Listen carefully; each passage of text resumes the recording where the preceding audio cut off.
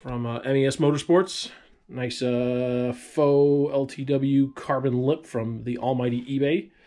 Um, you can see down there, got a nice Setrab oil cooler uh, running up. The engine, um, so this car's had a couple engines. Uh, it started life with a just a S52. Then I threw a supercharger on it. That was dumb. Blew that motor up. Got another motor that motor had problems and blew up. So then at that point, I built a motor. So what we see here, we've got a S52. It is got built bottom end, 11 half to 1 compression, um, all upgraded bearings, everything, baffled oil pan. It's got a Schrick 276 270 cams in it, Supertech valve springs, Supertech valves, very mild port. Um, this was the first car that I did, and actually, this is probably, I believe we confirmed this was the first running uh, Rapid Racing Development ITB swapped car. So S54 fuel injectors, ITBs, airbox, 3.5 MAF, super sweet gold wrapped uh, Dinan intake, fits really nicely. Um, Cast Performance, the dudes that tuned it.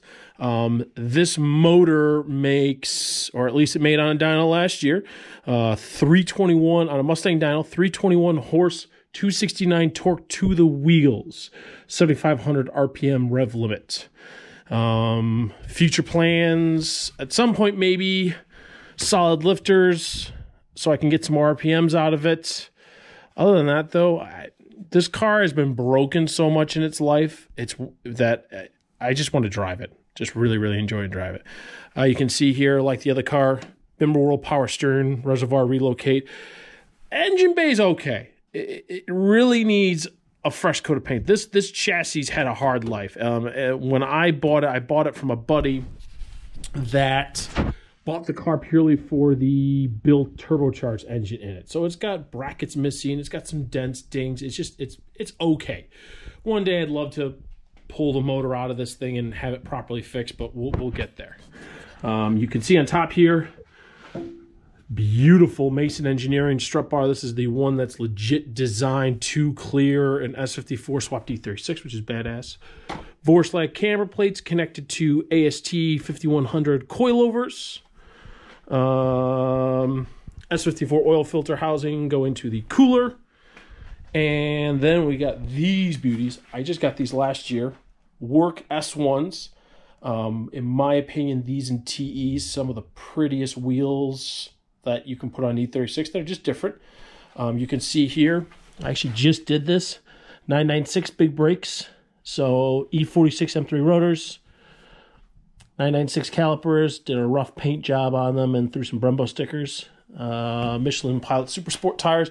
These are the road wheels. So I, I have track wheels that I put on these um, with a stickier rubber and a more squared setup. This is a seven. This is actually stock E36 fitment, seven and a half front, eight and a half rear. So got that going. Um, interior has completely been changed. This was originally a Dove gray car, as all 95 E36 M3s were pretty much.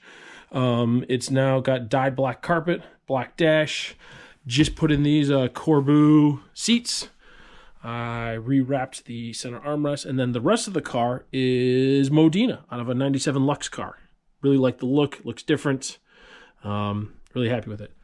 Uh, I have got my um, Cooler Works short shifter. Love that thing.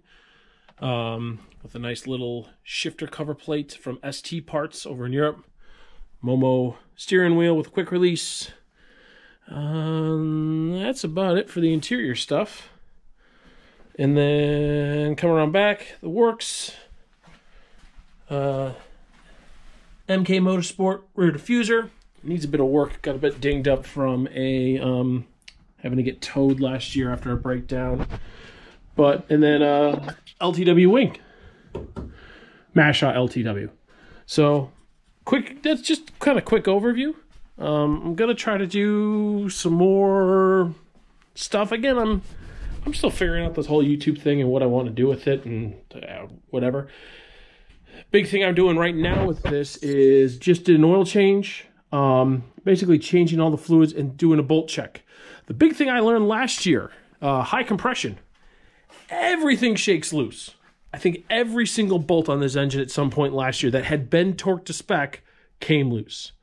Um, oh, and then also I added on. You can't ah, you can't see it down there. OX ball fan. Um, I had to upgrade the dampener. Um, I'm gonna maybe see if I have any pictures or anything I can overlay into this video. Um, it is, or maybe I can get it from underneath. Let's see here. Uh, you can just see the bottom of it. ATI Super Dampener, custom done by JD, GDM Engineering.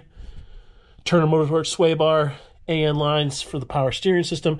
It is a Z3 steering rack in the front here. I uh, love the ratio on it.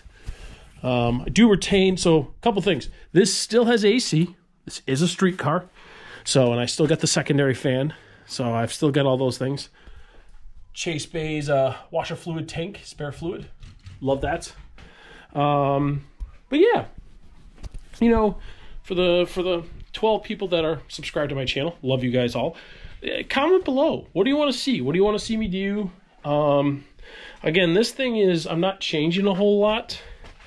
Though I do am contemplating putting that carbon delete panel here. I have a lot of E36 stuff.